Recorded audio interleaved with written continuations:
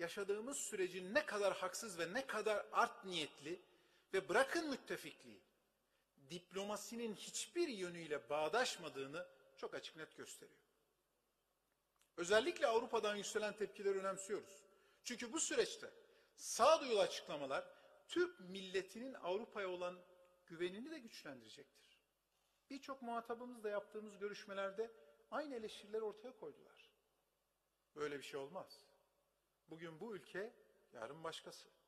Bu işi bir ekonomik ilişkiden siyasi platforma birileri çekiyorsa emin olun bugün bunun etkisinden daha fazlasını yarın birileri ödeyecek. Bölgesinde yaşananlara rağmen yatırımcıları için güvenli liman olan Türkiye'nin Avrupa ile ilişkilerini bu pozitif gündem ve, ve bunun ötesinde daha da ileriye yönük bir işbirliği içerisinde güçlendirmesi, dünyayı tehdit eden bu tip gerilimlere, bozulmaya çalışılan ticari işbirliklerine ve küresel finans sistemini tehdit eden yaklaşımlara en güzel yanıt olacaktır. Sadece siyasi hedefleri ve kendi çıkarları için istediğine yaptırım uygulamaya çalışılan anlayış eninde sonunda yalnız kalmaya mahkum olacak.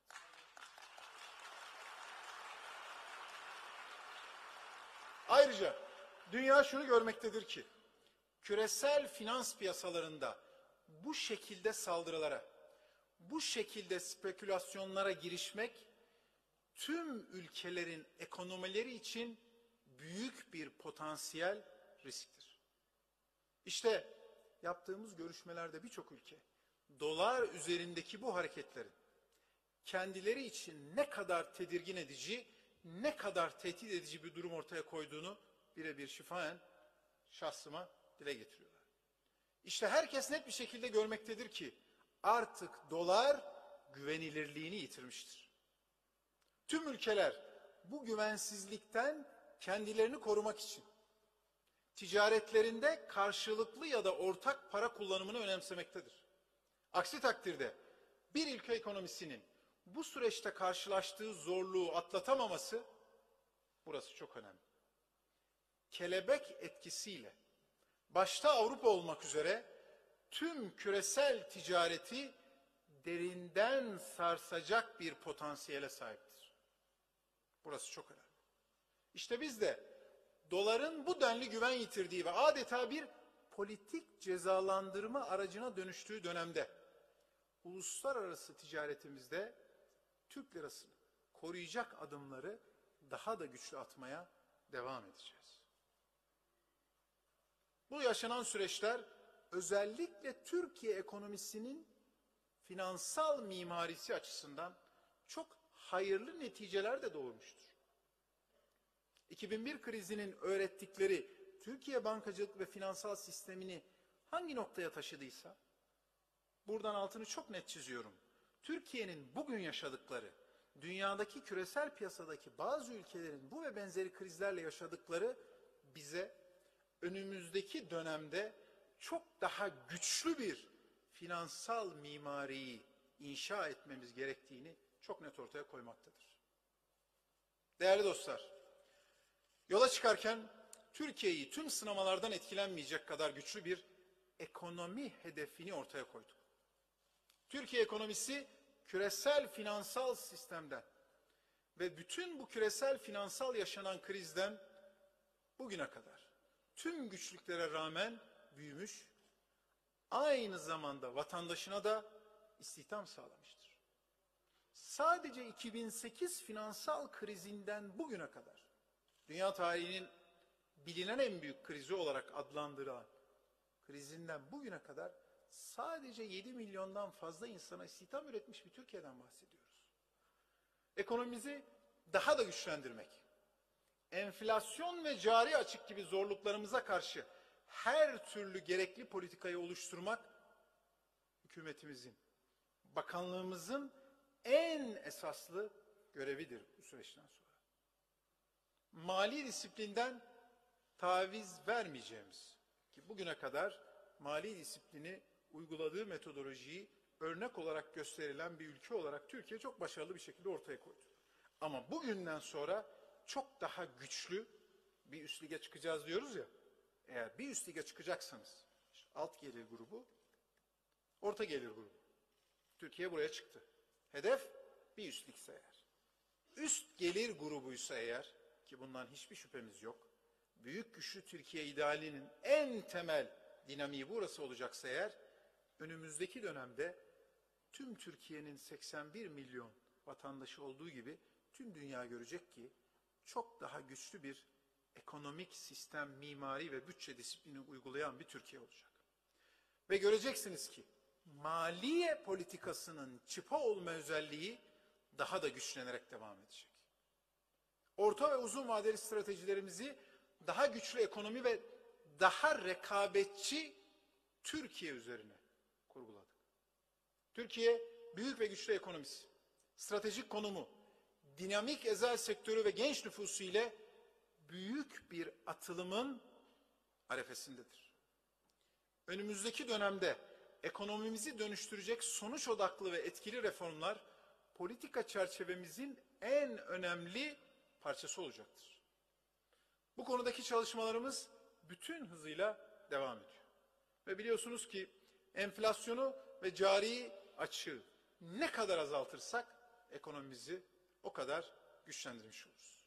16 yıldır atılan adımlarla ekonomimizde yazdığımız başarı öyküsünün daha da ileriye taşımak için cari açıkla mücadelede iki ayaktan oluşan politikalar bütününü uygulamaya koyacağız. Cari açık meselesinde atacağımız her doğru adım bu ülkeye karşı girişimleri. Burası çok önemli. İşte bu ve benzeri girişimleri yapanların ellerinden enstrümanlarını almamızı bize karşı yapılan bu operasyonların etkilerinin kırılmasını sağlayacak. Bunun birinci ayağını verimlilik oluşturuyor. Bireyden başlayarak aile, firmalar, STK'lar ve kamuyu kapsayacak şekilde tüm harcamalarımızda verimliliği ve verimlilik kültürünü oturtmaya çalışacağız. İkinci ve en önemli ayağı dediğimiz, geçtiğimiz hafta açıkladığımız 3 artı 1 yeni ekonomi yaklaşımımızla belirttiğimiz harcamalara ve yatırımlara getireceğimiz disiplin en önemli noktaya ihtiva ediyor. Artık yatırımlarımızı daha çok üreten Türkiye hedefine hizmet edip etmediğine göre önceliklendireceğiz. Yapılacak yatırım teknolojik ya da yüksek katma değerli üretim sağlıyor mu?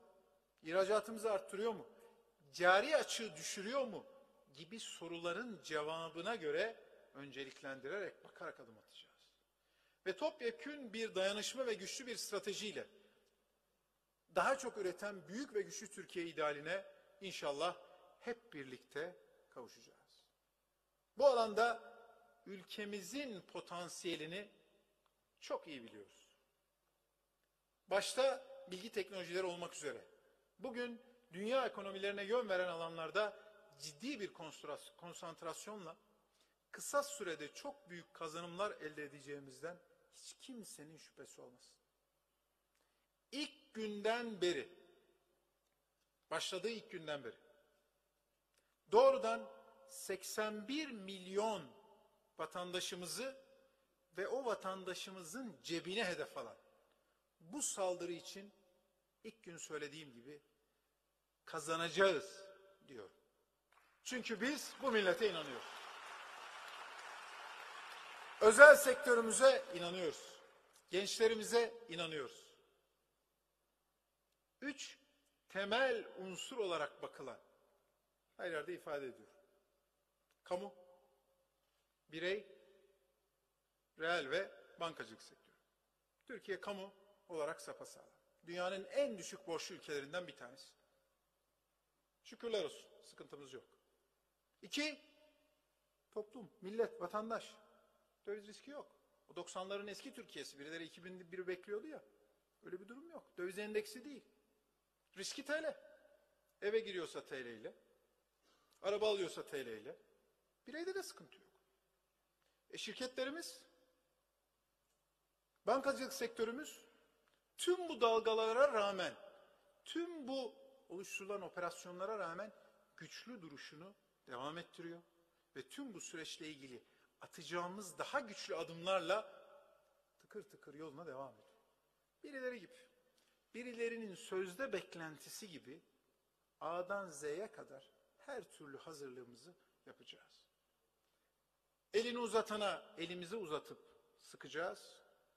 Yumruğunu sıkana da yanağımızı dönmeyeceğiz. Bunu herkesin bilmesi lazım. Ve tekrardan dediğim gibi milletimizle 81 milyon tüm paydaşlarımızla özellikle milletimizin desteği başta olmak üzere tüm bu çerçevede rasyonel ve vizyoner stratejilerle çok yakın bir zamanda hedeflerimize ulaşacağız. Yeter ki biz millet olarak birliğimizi, beraberliğimizi kaybetmeyelim. Nihayetinde bu topraklarda farklı emeller için bugün üzerimize gelenlerin son umutlarını ortaya koyacağımız kenetlenmiş bir Türkiye fotoğrafıyla bütün bu süreçleri ellerinden alalım. Bunu yaptığımız sürece girdikleri her giriş bizim sakalımızı kesmek için kollarını kaybetmelerinden başka hiçbir şeyle neticelenmeyecek. Bu vesileyle başta SET ailesi olmak üzere tüm katılımcılara bu güzel programa iştirakleri için teşekkür ediyorum. Hepinizi saygıyla selamlıyorum. Hayırlı günler diliyorum. Kalın sağlıcakla.